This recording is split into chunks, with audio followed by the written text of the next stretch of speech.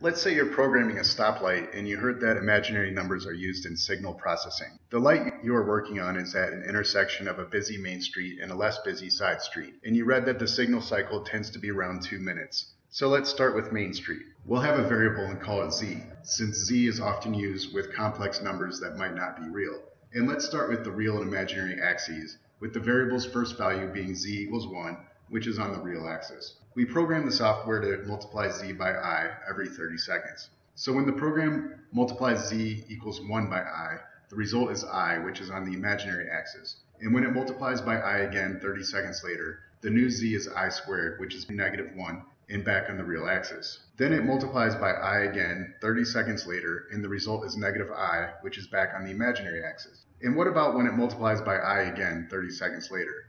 The answer is negative i squared, which is the opposite of negative 1, and that is back to 1 where we started 2 minutes ago. Now, based on traffic codes in the area, let's say we want the light on Main Street to be green for 1 minute, yellow for 30 seconds, and red for 30 seconds each cycle. We can make a function and call it f of z. Start the light as green, 30 seconds later keep it green, that is f of 1 is green and f of i is green. Then when z is negative 1, we switch to yellow, and when z is negative i, we switch to red.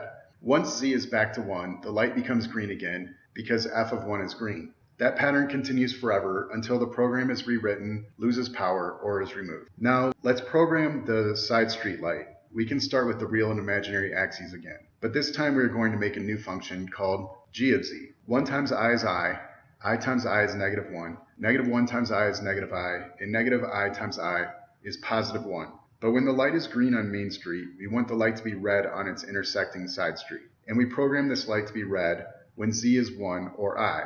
That is, g of 1 is red and g of i is red. But when Main Street is yellow, we still want the side street to be red. So say g of negative 1 is red. But what about when the light is red on Main Street? We could make the light be green on the side street, but we also need it to be yellow before it returns to red.